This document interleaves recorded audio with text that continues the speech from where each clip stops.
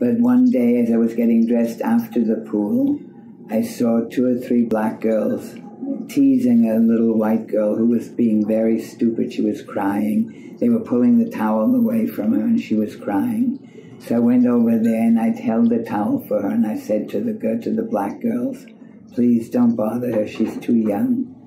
And they left, and I got dressed and got ready to leave. And one of the girls stopped me and said, "You know those colored girls? That's the word they used at the time. Those colored girls outside are going to beat you up for bothering them when what they were doing. You'd better get the police to walk you home."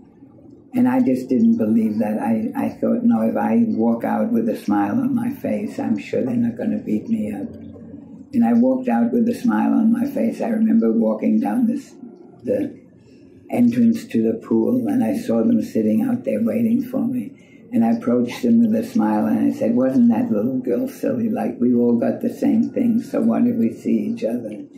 And that they answered with a pleasant smile and we talked about the little girl for a while, and then one of them said to me, What kind of an accent is that? And I said, It's probably German. I was born in Germany. This is my first year in America.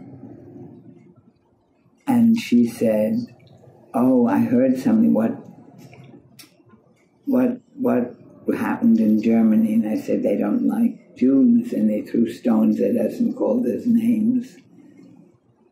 And we couldn't go to their schools. And the, one of the girls said, Oh, that's just like us here in America. They don't like blacks and they throw stones at us and, and they hang us on trees. And that was the first time that I became aware of what the situation was with black and white in America.